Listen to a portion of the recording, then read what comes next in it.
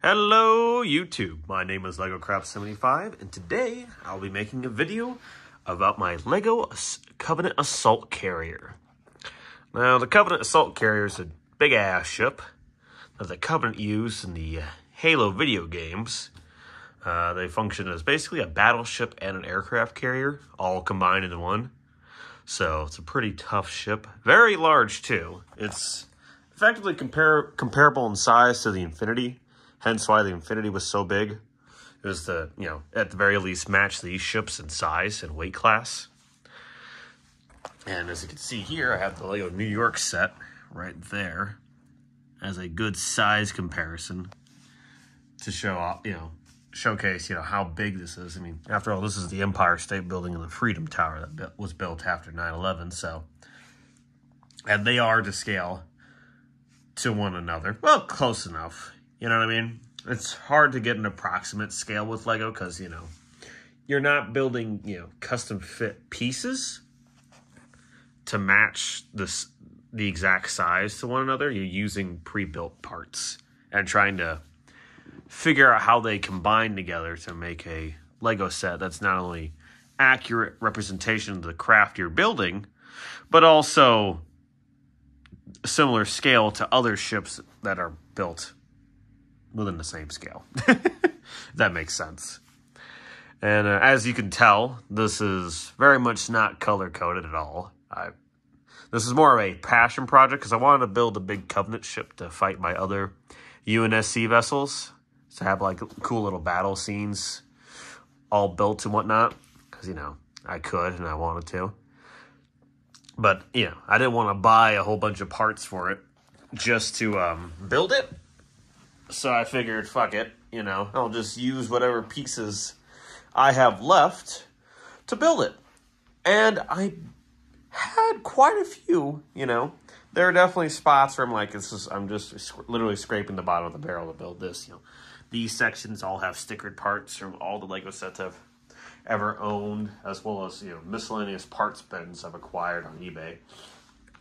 So, I use those, just fill in the gaps and whatnot. Hell, there's still sections that are just wide open because, you know, I've, I've, ooh, goodness, I'm still congested. I've, I have cannibalized just a few, in a few places.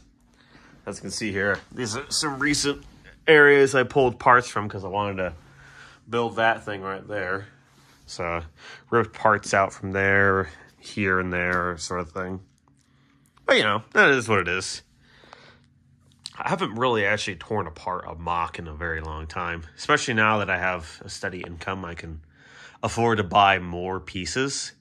That way, if I need certain parts, but technically I already have it, I can just buy more of it so I can keep certain builds still intact while creating new builds.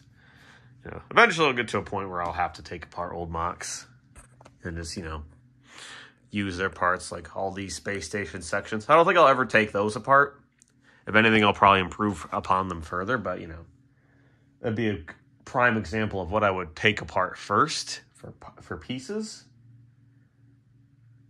in an effort to, you know, have more parts at my disposal to build new creations. Let's see, let's get a few more surround shots. Yeah.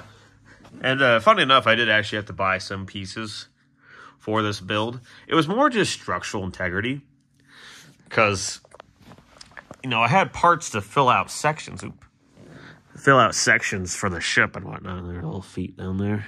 Here are the engines. Very, very basic, but you know it does the job quite nicely. You know, I had the parts to fill out sections, but I didn't have enough piece like large parts. Like, here's a good example. Parts like these, you know, long Technic pieces, you know, just long bricks to just, you know, build off of, you know. It's very hard to build a structure with nothing but one by twos. Just saying. it's is it possible? Yes. Do you need an absolute fuck ton? Yeah, also yes. So I had to buy some parts. Let's see. I also had to buy some other pieces too. And this was like first time I ever used parts. It's like, oop. As I was parts like these. These are uh, lining the inside of the ship. I just use them as like a base plate for the inside to build off of. And these parts are great. I've used a few in the Infinity, but not to that great of a great of length.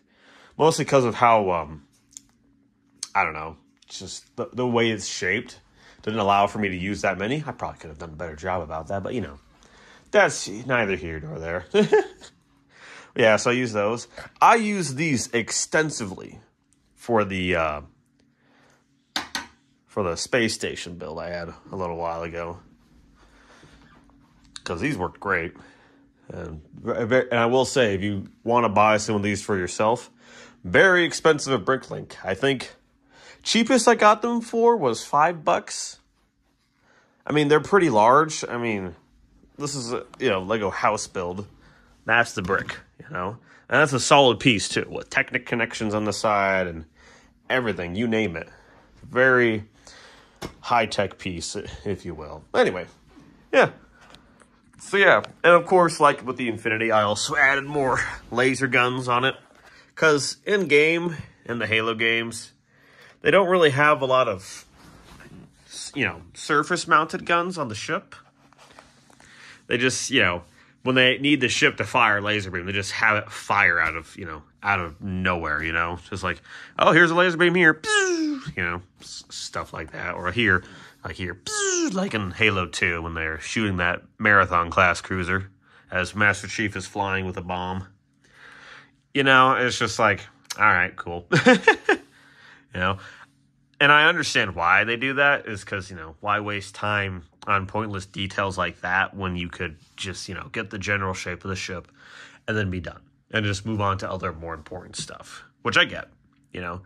Me as a fan, I would just, I wish they would go that extra mile, but, you know, I understand. At the end of the day, you got to get what's done, what, got to get the important stuff done first and just leave it at that.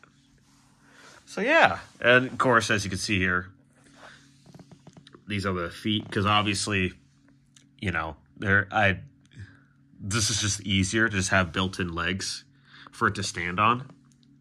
And I gotta stand here. I also got like a laser beam thing underneath there. I think I could probably lift this up to show it. it probably won't break it. Oh, uh, you know, that fucked everything. Never mind. I'll leave it. I'll leave it for now. oh, goodness. Oh, what else? Oh, yeah, I think that's it. Uh, what else? Oh, uh, one other thing to talk about, too. This is actually the first uh, Lego Star uh, Starship build I had, where I implemented my, uh, as you can see here, very obvious handles, as I was trying to lift it up there.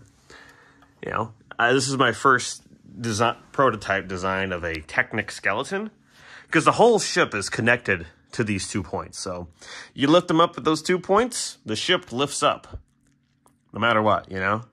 Very easy to move that way. Not a heavy either. It's like what 35 uh, not 35 last time i weighed it it was 31 pounds. Still feels heavy but then again i have been working out and that and lifting that that much lately. Just arm curls. That's really all i've been doing so lifting it it can be a little strenuous but you know that's whatever. It's nowhere near strenuous as lifting the infinity. Of course with that one i have a you know a bit more like must make sure it doesn't fall energy you know to make sure it doesn't fall and break again on me because, you know, I don't want to waste another three days trying to repair it. Although, if it did happen, that would give me an excuse to redesign it. But anyway, that's the Infinity, not the Covenant Assault Carrier. So, yeah, built those.